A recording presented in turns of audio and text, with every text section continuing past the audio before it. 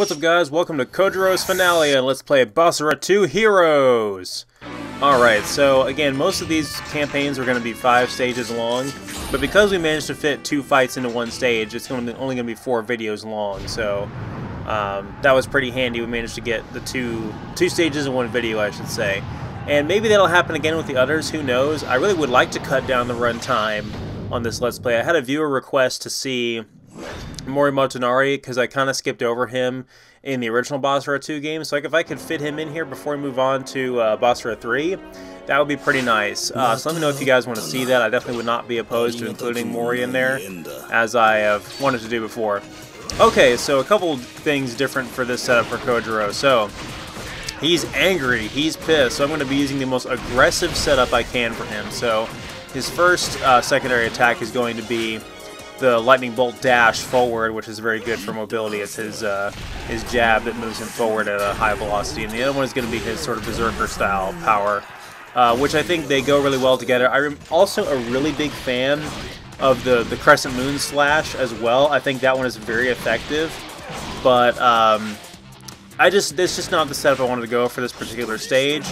But you could definitely take advantage of that. I think it's a very optimal setup for him. I really do like a lot of his abilities. So, uh, first things first here, one thing you probably noticed at the start there, I show a little bit more of the uh, menuing before I managed to get into the gameplay here for this video. And the reason why I did that is I wanted to show off um, switching the alternate costumes. So this is a, a, new feature that we haven't shown off yet in any of the Boss Basara games. But uh, starting in Boss Basara 2, characters now have alternate costumes. So we can now have uh, a color swap for Kojuro. This is his second alternate costume. His first alternate costume is sort of like a more traditional Japanese uniform. I, am sorry I didn't get to show that one off on screen. It, it's okay. It shows off a little bit of his, um, a little bit of his chest there. But it has the same like green, more of a green color palette with some yellow showing through. I really, really love the blue though. I really like the way this outfit looks. I would actually consider cosplaying if I didn't put so much effort into making the version that I have now, that the standard brown that I cosplay. But yeah, I really, really do love the blue color scheme. It's never seen again in any other Basara games afterward, as far as I know. But um, one of the... I do actually have a little mini figure of Kojuro that's in this color scheme with the blue, and I thought that was a pretty rare find when I found it. So, the objective for this level is going to be rescuing uh, Masamune's captured soldiers, just like in the anime. So this is going to be very similar to that that nighttime episode from the anime where Kojuro has to go in and rescue um, those soldiers that Matsunaga Hisahide had captured. The uh, quirky guys that we always see, sort of his signature soldiers that always have like the weird aesthetics with the, the guy with the poofy hair and you know, his ragtag group of soldiers that we always see that are left mostly nameless. Well, they're they're here in the game, and uh, we're to be rescuing him. They're not they're not exactly the same, but one thing that is similar to that episode in the anime when they adapted it from the game is they included the uh, the miasma, the poison that um, Matsunaga Hisahide uses. So as you can see here, these cauldrons are going to ignite and start pointing out a toxic gas, which is going to slow us down and drain our health a little bit. So we can uh, manage to counter that by destroying them. We definitely want to do that as soon as possible so we're not hindered any. So we definitely want to take advantage of that. But yeah, like I said, I'm going for Kojuro's most aggressive setup here so we can show just how pissed off he is and how much he's ready to end this. So, I really like the uh, the stunning effect of his punches and kicks there, but it uh, doesn't always deal a whole lot of damage. That's why we have the utter ability to deal massive damage once the enemies are stunned. And I do really like how he drags his sword through the dirt like that. So a lot of tough, very tough enemies in this stage too, uh, which won't be much of a problem for the most part, but I did get beat up pretty bad there by those guys with the pole arms. Uh, but it does happen. We may have to fight uh, Matsunaga Hisahide's elite guard group as well, like we did in the, one of those previous stages. Oh, here we go. Sure enough, we found them. In this area as well, we have to destroy the uh, the cauldrons that contain the, the miasma, so we're going to go ahead and get rid of those. There's a pike formation surrounding them, which is pretty easily gotten through with that dash ability. But yeah, these guys can be pretty tough, but they're definitely no pushover. But yeah, getting through those pike formations is no problem whatsoever. If only they were to make them a little bit more challenging to get through in the future games. And you guys will see what I'm talking about when we get to Basara 3. So, these guys with the shields actually have firearms, and their shields are actually quite a bit higher up. And they also, uh, the, the, overall formation is a little bit better, so those guys have a better defense overall. Uh, but nothing we can't get through. Again, the pike formations are not really all that durable, really.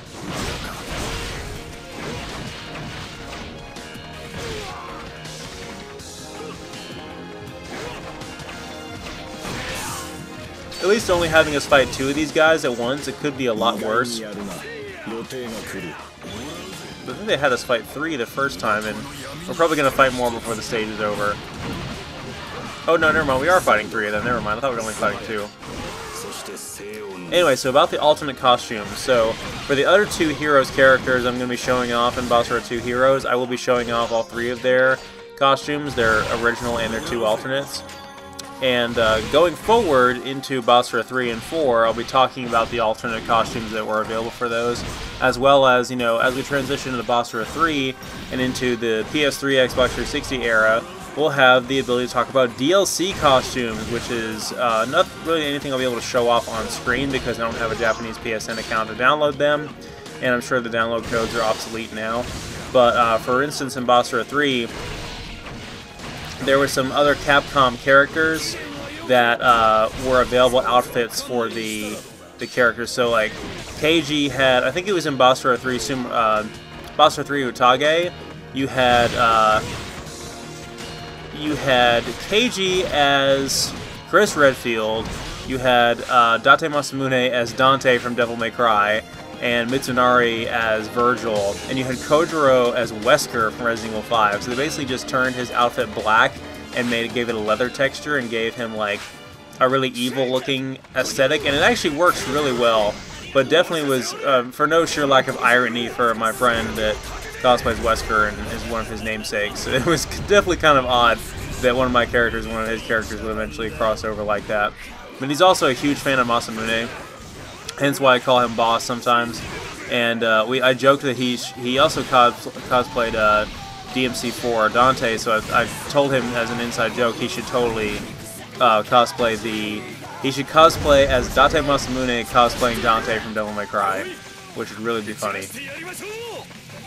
Anyway, so we freed some more Masamune soldiers there. They're tied up on the pillars like that. We can just, with one hit, slash away at the ropes and free them, and they'll be able to fight with us.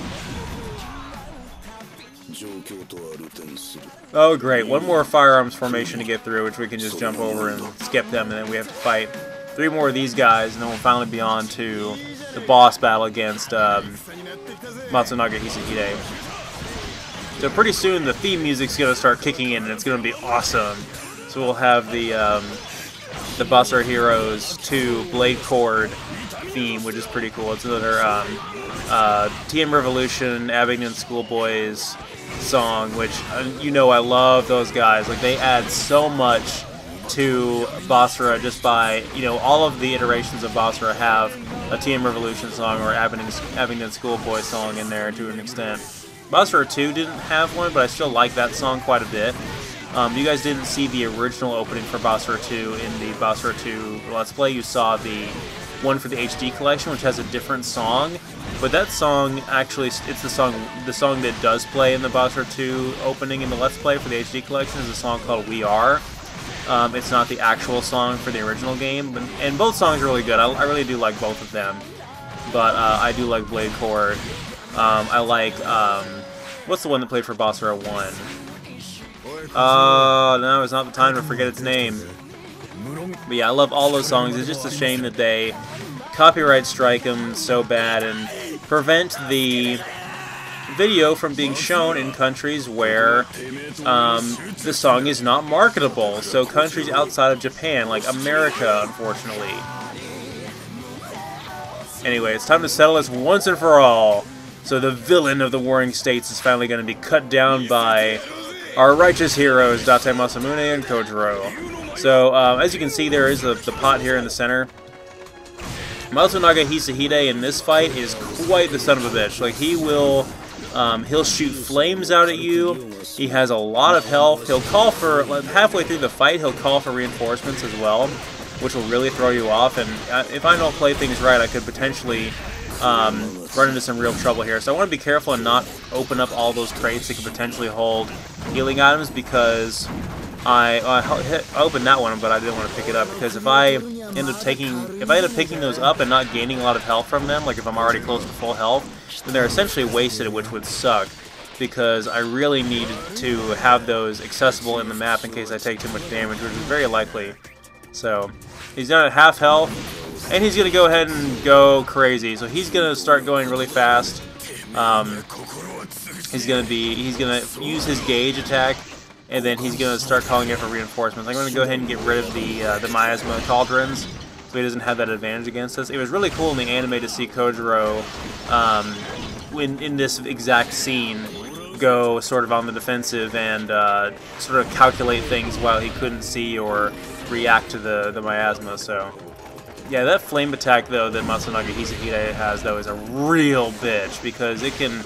It goes out in three different directions, and it, it follows up by seeking you into the air and launching you, which can be really aggravating. So we're going to get really pissed off and start punching and kicking and fighting dirty like we do. And, uh, his health is dropping now, but yeah, he's he's pretty tough in this fight. They're, I, really in Basara 2 Heroes, they started really cranking up the bosses and making them a lot better. But the boss fights are going to get, just you think this is good, wait until we get to Basara 3. The boss fights get so good in that game. And they actually become somewhat strategic instead of just like a random exchanging of blows with minimal minimal potential for blocking. Boss Basara 3 really makes the bosses very dynamic, and uh, you know you're colliding with them and the uh, the struggles and contests that you can do. All right, so now we have we've used our gauge, so we're gonna go ahead and knock him down to size.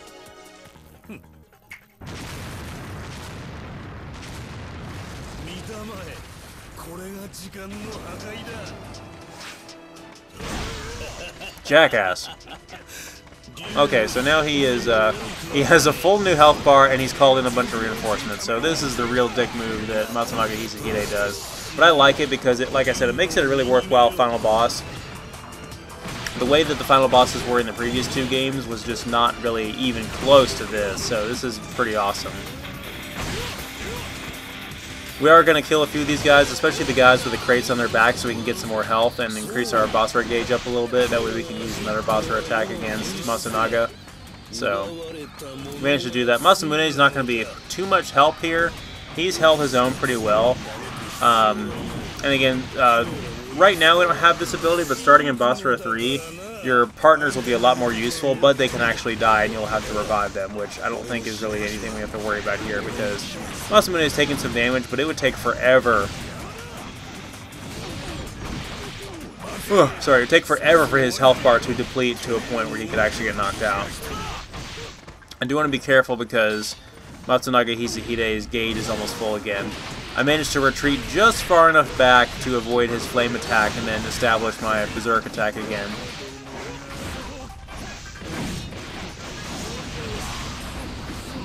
Well, that was kind of crappy.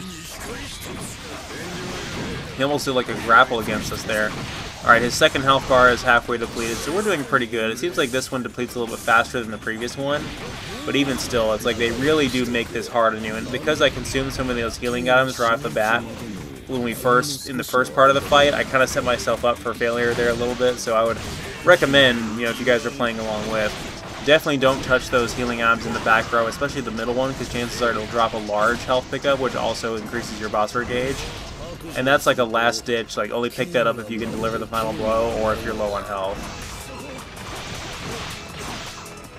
He kind of got lost in the crowd there, almost lost where he was. We might be able to get our gauge full and do one more boss for attack against him to finish him off, but yeah, he's gotten pretty tough. I do like I do like Matsunaga Hisahide as a villain overall because he is pretty menacing, he fights dirty, he's unpredictable, and I just like his design. His design is very villainous, but it's also somewhat minimalistic compared to Basara's standards, the contemporaries. Um, and he uses the regular sword, so I, I kind of like that about him. He just walks slow and is not that fun to play as. Of course, we really don't get to play as him until um, Basara 3 Utage, which is, an, again, another spin-off that has to do with him. And then he hasn't had much time in the spotlight since then. But he had basically his own game, so he doesn't really have any room to complain. Alright, our Fury Drive gauge actually increased back to full. So we're going to go ahead and use that now and increase our speed and damage. So hopefully that should be enough to finish him off. Man, he gave us a run for our money. Alright, there we go. One hell of a final blow there.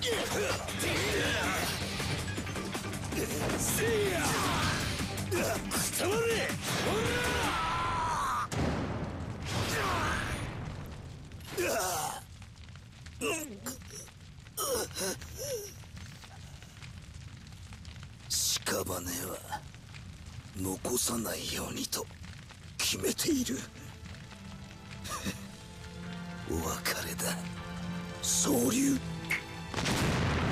So thank you guys so much for watching. I really enjoyed finally getting to play as Kojiro. He's my favorite character in Basara and you know my one of my cosplay namesakes. I'm really glad you guys got to uh, enjoy this experience with me.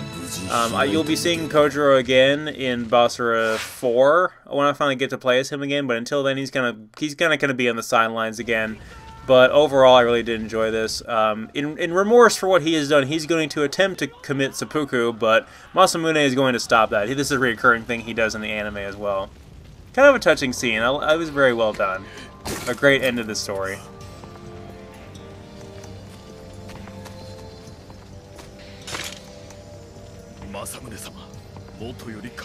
Finally retrieved his dragon claws. 許されることではありませぬ。竜の刀そして皆の命あなたの二つの宝を取り戻した今この小十郎にできることはただ一つ。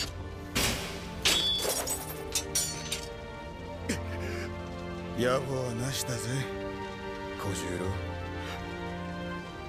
政宗様